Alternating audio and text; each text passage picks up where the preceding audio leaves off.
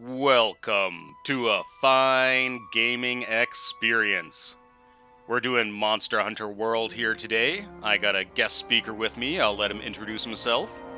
Uh, hey there, um, my name is Ice. I've been playing games like Monster Hunter for a long time, and uh, hopefully my tiny bit of insight will help everything out.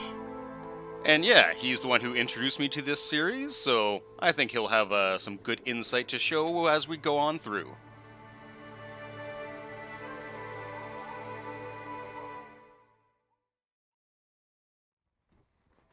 Sisters and brothers of the Fifth Fleet, it's time. I'll keep my farewell brief. Never was much with words. Once you board this ship, there's no turning back. The next ground your feet will touch will be that of the New World.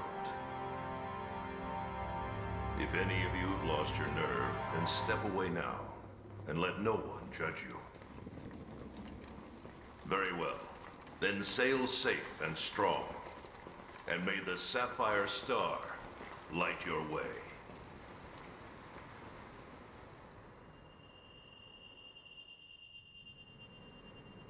World.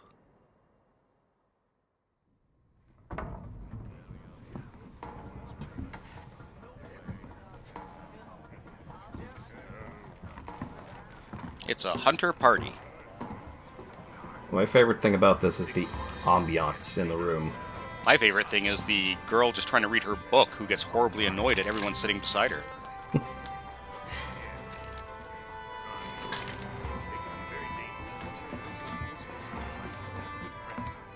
Cat's carrying oversized food. Capcom, of course, uh, showing their extreme lack of subtlety. That is their specialty.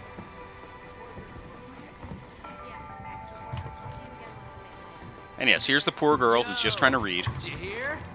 We're almost there. You ready to grab this new world by the horns? Don't know about you, but it feels like ages since I left home to join the commission. So, nervous? Believe you me, I get it. Anything could happen to us, but hey, that's Yep. happened. Uh, Hey, aren't you one of the A-list hunters? Go ahead, just spill beer all over my drinks. So Or beer all over my books. hey, tell us your name. and yes, here's where I normally would have created the character, but. Unfortunately, the armor is covering up most of the look, but I'll show it off at the end. to the A-list and the commission. Cheers! A big part of Monster Hunter is definitely the armor and outfits. So, Oh, me, so much so. What's your theory? The Elder Dragons must migrate to the New World. It's Barbie dress up with weapons. Yes.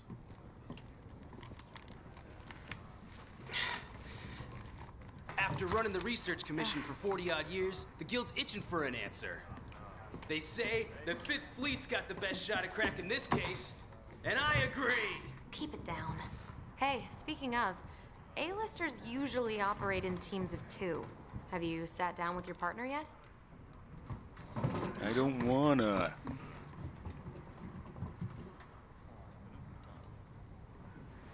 Of course, they still want to carry the JRPG torch, and there is a silent protagonist. Listen to Well, we grunt and oof and scream a lot. There. The waves are picking up. That's Dialogueless. You're on the A-list, right? Huh. Meowdy do. I'm not psychic, but I do have pretty good ears. Ah, put her there. I happen to be an A-lister myself. Whoa, whoa!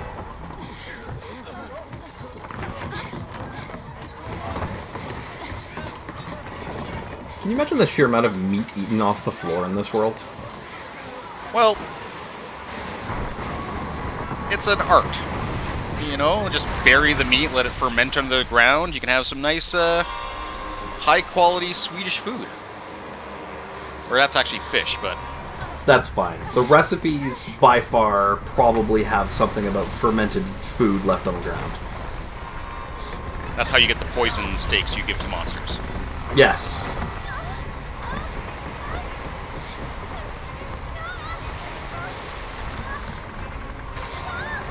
And there goes our cat. He's dead. Spoiler. Spent all that time creating him just so he can get killed off before you actually play the game. And I hope everyone enjoyed uh, joining us today. But oh wait, no, there's more.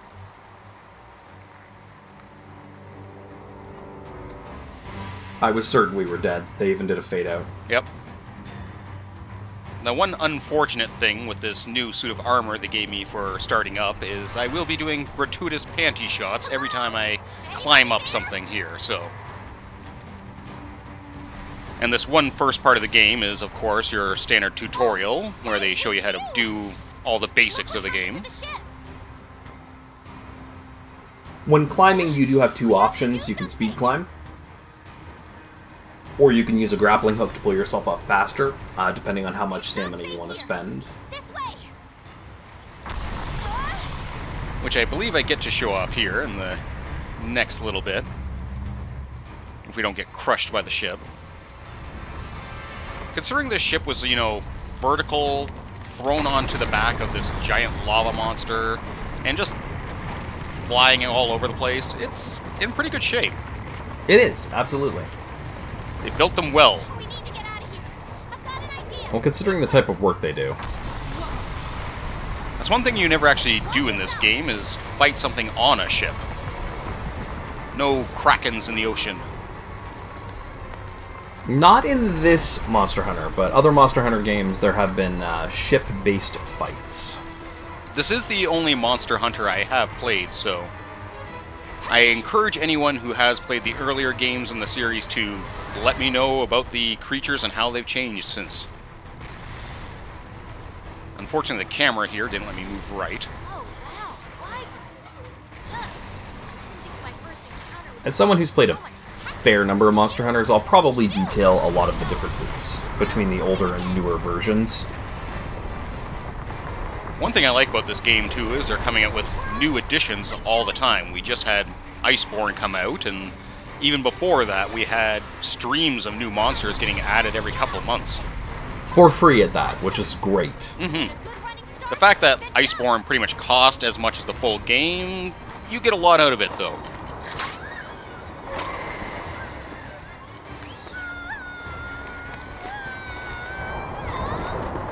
I do find it odd that was her plan, but she wasn't ready for it.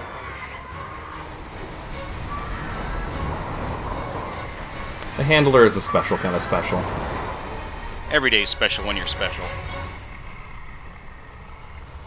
And yes, that big thing we were on the back of is a giant, scary lava dragon.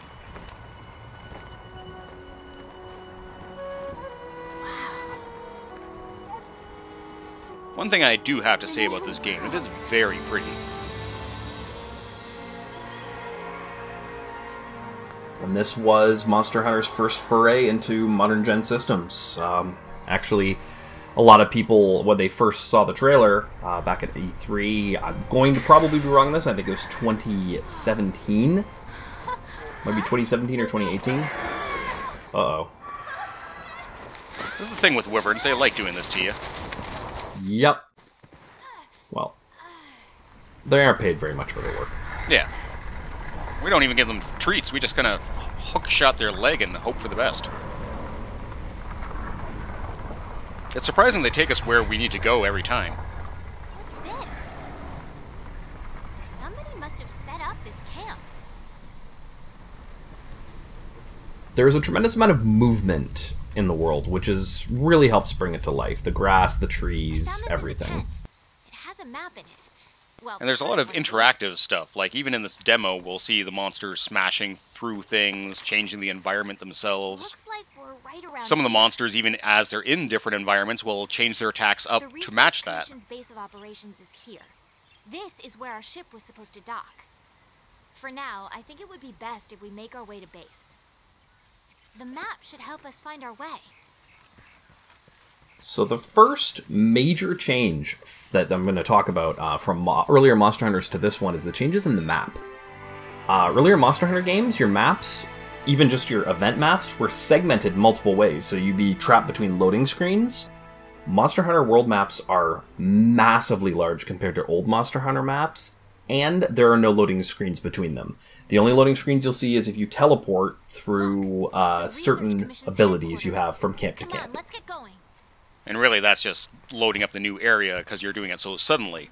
Mm-hmm. And yeah, there's a lot of environmental stuff to this. Like, there's birds eating corpses, there'll be natural creatures just grazing around, and then bigger things feeding off them. I found this interesting because this is where you would normally go to the next area, and they've just subtly blocked it off with a landslide. Mm-hmm. They want to keep it as simple as possible when you're just starting it off. I'm never a big fan of the linear paths, but for the introduction, I Looks like understand we need it. to go around. I had the scout flies memorize my scent earlier. It helps you show you too the game it follow the scout encourages you to and that'll lead you explore and see more. There's lots of other things you'll find if you go neat places. Now, people were very upset about the concept of scout flies that the handler just mentioned there. I'll go into more detail after this cutscene.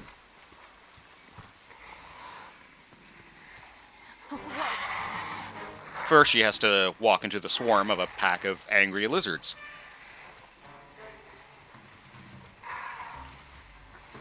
You have to remember, she survived this long. But how many times, like, throughout this game will we save her life? You know what? We may need to put a counter up to actually put that down. Don't pick a fight if you don't have a weapon. We need Should we include the on, leap off uh, the creature at the introduction there, where we s- caught her hand and saved her? Stay low in the Maybe. to remain hidden. Probably. This is something you don't use too much, hiding from monsters, but it's pretty handy when you get used to it. It's much more handy earlier on in the game when you're a lot less, Quietly. Uh, we'll say, equipped to fight tougher Keep going while we monsters. Yes. This is what I hate with some parts too, is you have to wait for the story to advance before you can actually go where you want to. I will say though, this is mostly just in the starting area right here. Otherwise, they let you go anywhere and do anything stupid you want to do. You can very often find yourself dead because you explored too far. Very true. At least they don't have fall damage, No. Which is very good for this area, considering how high up we'll be getting in some parts. And now, if you just saw these these little green dots you're seeing on the screen there, those are scout flies. And scout flies are brand new to Monster Hunter World, and they've in a lot of ways made a lot of the exploration in Monster Hunter much easier. Newer players will love them. Older players overall didn't like them because it made it a bit too easy to do research. They'll basically stick to everything you can interact with in the environment. And there and because of the maps being as large as they are, I think the scout flies were necessary. Uh, I do wish they had a way to completely turn them off, Check it out. but they're tied into the story, so they can't be turned off. Not exactly an integral part, so it would be nice if you could turn it off. But yeah, certain cutscenes and whatnot definitely have them as a uh, moment like this.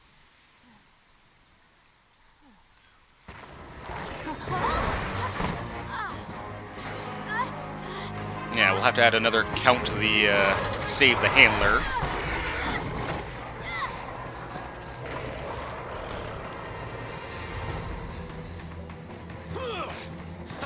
Don't mind me.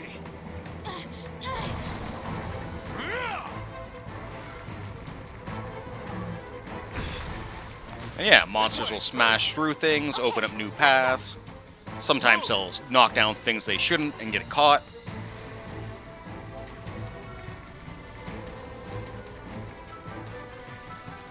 The designers who design monsters for this game do a lot of research into the way real world creatures move in order to figure out how a monster at this size would actually move around.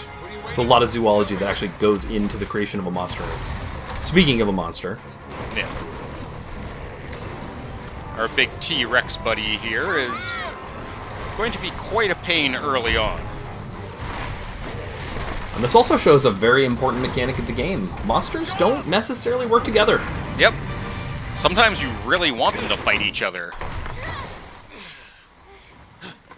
Why do you have to spend as much time killing one yourself when you can just have a bigger monster come up and take a chunk out of it? You alright? Let's go. Okay.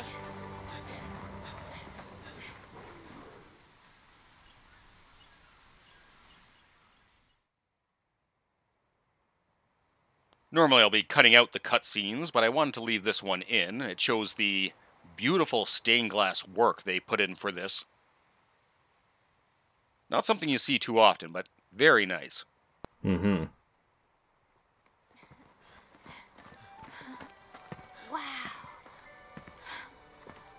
Amazing, ain't it? Just look at this gate.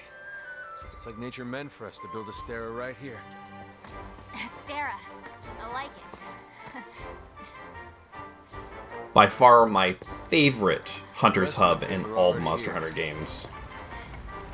You're the last to arrive. It definitely seems very interactive. Like, as we'll be seeing, each part has its own purpose, and people will be walking around. You can talk to literally any NPC here. Plus, one of the great things about it, as obnoxiously complicated as it looks, it is extremely easy to navigate.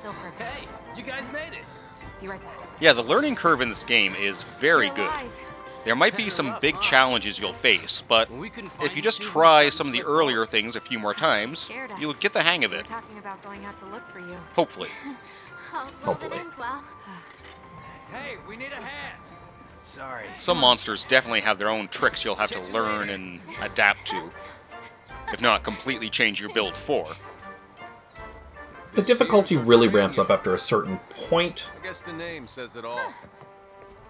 but Monster Hunter is definitely on the list of difficult games. Incredible. Yeah, the end game in this is amazingly difficult. And even the first bit here, when we're really under equipped, Scholars to do the uh, even some of the basic enemies will give us more than a few headaches. This place is the beating heart of the Commission. Wait here a sec. Commander, I found him.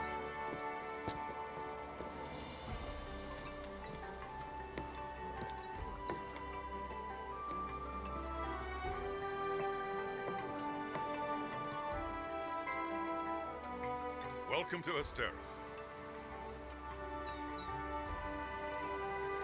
There are partial cutscenes like this, which are just dialogue scenes. They'll usually give you a little bit of dialogue, and then the rest of it is all read through. They do animate a surprising number of the cutscenes, though, and have voiceovers for a lot more than I would have expected. They do, that's true. Even for the dialogue options for our main character, despite the fact they're just grunting and whatnot, I had 18 choices on which voice to choose for her. I ended up going with one of the more anime esque ones, but it's a carefree and wild character, so Well, I thought it fit fairly well. Okay, I'll give you the grand tour. We'll get a good look of her natural f- appearance uh, outside the armor at the very end of this stockpile. episode. They carry most of the basic necessities. You should drop by later to see what they have.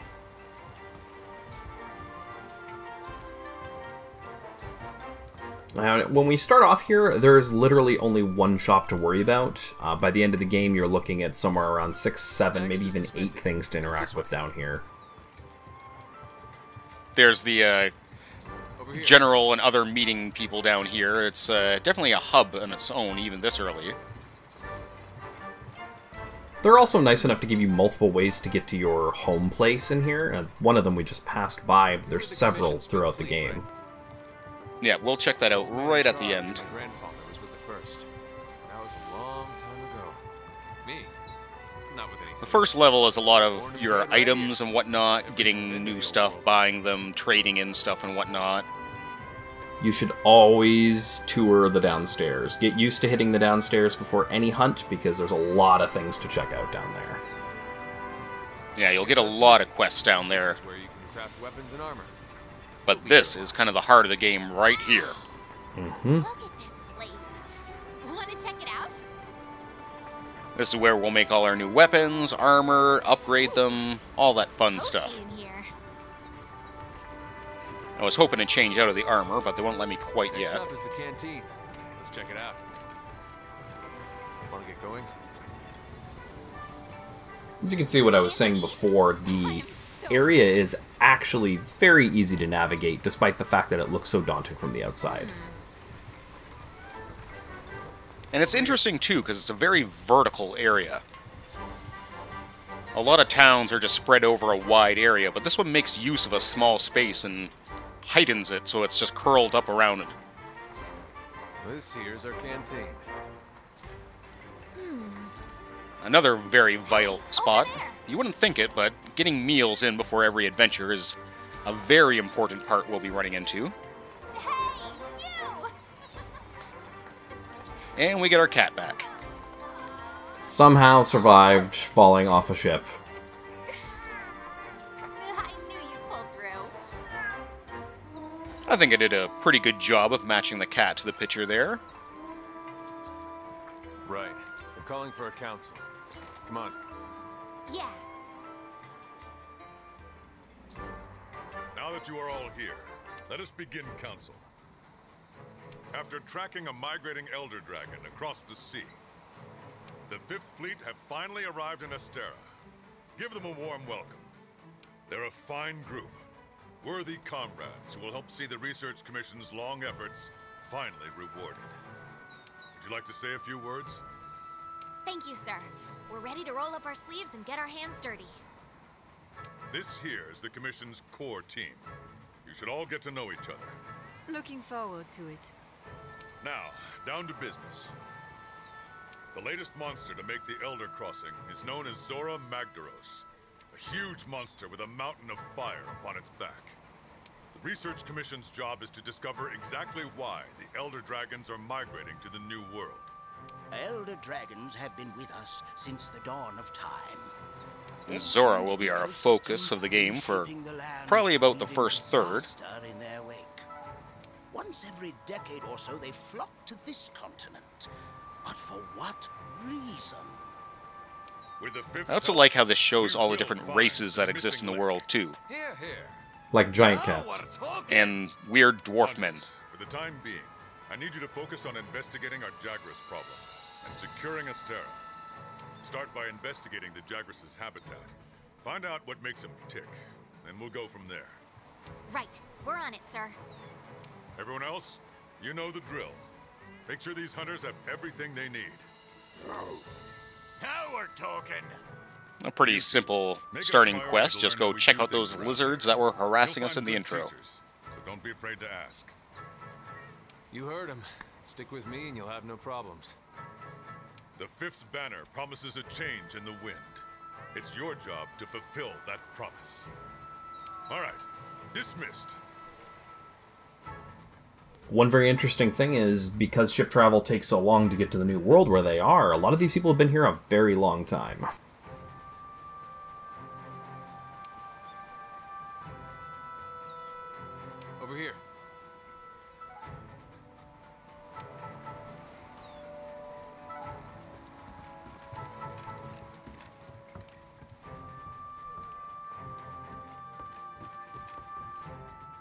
And since we're just some starting grunt, we get to share our room with a whole bunch of other people. Certainly not some stockyard they just quickly threw a bed into. Mm-hmm. Only the best for the newbies. But we do get access to a lot from here. Make sure to From here, we can change our weapons, our armor, our items, go to the training area, change up our Palico helper. And changing your weapon in Monster Hunter World is like changing your class. It is everything that you do from start to finish. That, along with the weapon skills and armor skills combining, become a very interesting set. And here's what our heroine looks like from default. Want to get going? I'll probably be goofing around with the sword and shield to start, but as I mentioned, I'll probably be using almost all the weapons. You can get more familiar with your weapons at the training area. Just talk to the housekeeper to get started. What would you say your favorite weapon is? I really enjoyed the hammer, but I have to say, after goofing around with the heavy bowgun, it is so fun. But we'll get to explore all that a little bit more next time here. I hope you enjoyed the intro of the game, and I hope you catch us next time. Take care, all.